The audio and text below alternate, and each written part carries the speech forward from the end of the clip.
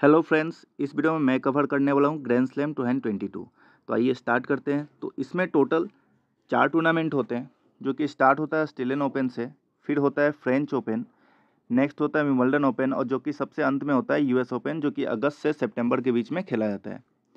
Next है हमारा Australian open जो है वो हार्ड कोर्ट में खेला जाता है, जो फ्रेंच ओपन है वो क्ले कोर्ट में खेला जाता है, जो विमल्डन ओपन है वो ग्रास कोर्ट में खेला जाता है।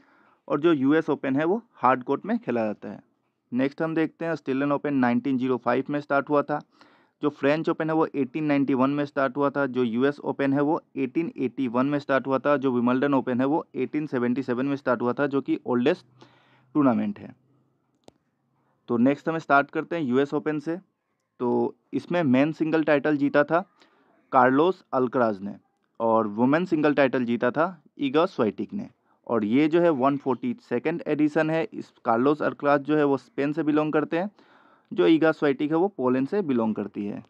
नेक्स्ट हम देखते हैं विमल्डन ओपन और इसमें मेन सिंगल टाइटल जीता था नवाक डिजिकोविक ने और वुमेन सिंगल टाइटल जीता था एलिना रिबाकिना ने। और ये one one thirty five edition है। नवाक डिजिकोविक जो सर्बिया से बिलोंग करते हैं और एलिना रिबाकिना जो है वो कजाकिस्तान से बिलोंग करती है।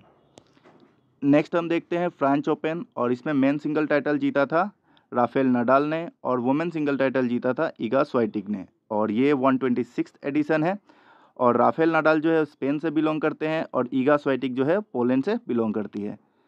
नेक्स्ट हम देखते हैं ऑस्ट्रेलियन ओपन और इसमें मेन सिंगल टाइटल जीता था राफेल नडाल ने और वुमेन सिंगल टाइटल जीता था एस्ले बार्टी ने, जिन्होंने अपना रिटायरमेंट रिसेंटली अनाउंस किया है। और ये वन टेंथ एडिशन था और राफेल नाडाल जो है स्पेन से बिलोंग करते हैं, जो एसली बार्टी है वो ऑस्ट्रेलिया से बिलोंग करती है। इसी के साथ हमारा सारा ग्रैंड स्लैम ख़त्म होता है। इसके साथ ही मैंने जितने भी टेनिस टूर्नामेंट हुआ था, उसको सबको एक साथ कवर किया तो आइए देखते हैं। तो इसमें जो राफेल नाडाल है, जो कि स्पेन से बिलोंग करते हैं, इन्होंने जीता है ऑस्ट्रेलियन ओपन, फ्रेंच ओपन और मैक्सिकन ओपन। नेक्स्ट है नवाक डिजिकोविक जो कि सर्बिया से बिलोंग करते हैं। इसमें इन्होंने जीता है Wimbledon Open and Italian Open next है हमारा अल कार्लोस अल्क्राज जो कि स्पेन से बिलोंग करते हैं।